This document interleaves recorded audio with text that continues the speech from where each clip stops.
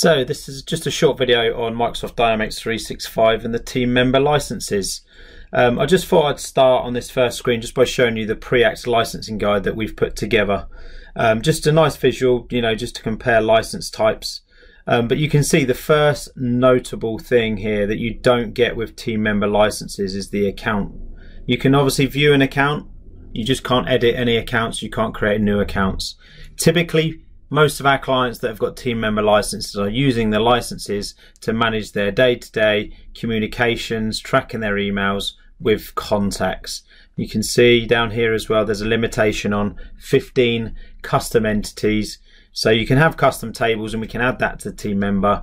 Um, and we can also customize a sitemap to bring in some other tables, but they would very much be read-only tables for you to be able to use.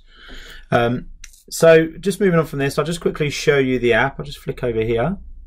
So you can see the team member license. Obviously, anyone who's licensed with the team member app depending on whether it's a sales team member license or whether it's customer service team member. By default, the sales team member app will be installed into your environment, but you'd have to install the customer service team license from the Power Platform if you would like to use that as well. So we don't. We can see we can only see we can see the sales team member when we click into this.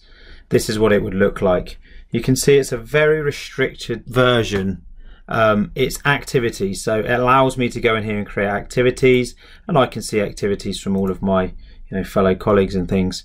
You can see if I go onto the accounts table, what I won't be able to see is I don't get the option to create a new account. You can see here, it doesn't allow me to click on new, so it doesn't allow me to create account. Again, this is a licensing restriction. If I click into one of the accounts, you can see straight away, it's going to say you don't have certain permissions. Um, but up here you can see read only. You don't have access to edit this record. So you can't edit it, but we've still got read writes access over these accounts. Now if I go onto the contacts, again you can see because we've allowed with a team member license to create a new contact, I've got the new button. I can create a new contact and I can edit an existing contact as well.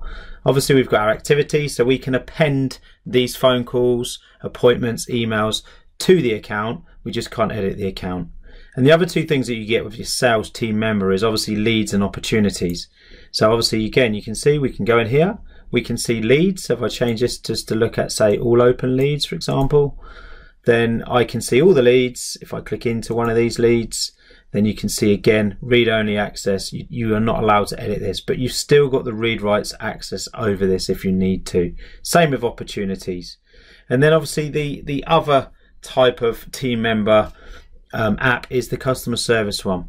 There you go, customer service team member, and you can see again, it's a very restricted, it's a dumbed down version of you know the the actual sort of customer service app itself. Um, we can see knowledge searches, we can see cases. Again, if we click into a case, you can see what you don't see is a business process flow um, you've got a very limited form as well, but it allows you to raise a case against a set default account. You'd need to set the account against this as well. It's just allowing one of your users to basically create a case and all those cases will be listed against whichever default account you set up when we set this up. The other thing just to note as well is just the security roles that come with these apps. You can see um, in the background here, let's sales team member, and if I just scroll up there is one in here as well for customer service team member. So you would need to give these to the people that need them. And you can see this is the sales team member that we're looking at. You can see here this is what it is. And if I click on core records you can see read writes access over accounts contacts obviously there's more flexibility. You can see it's a very restricted type of license. But if you want somebody to be able to add contacts and activities and any of those 15 custom tables then a sales team member license is a really good license to opt for. It's just a very restricted license. You can't do everything that you would do with a full enterprise app license um, if you like what you've seen today, please feel free to get in touch with us if you have any other questions regarding any licensing questions or team member apps.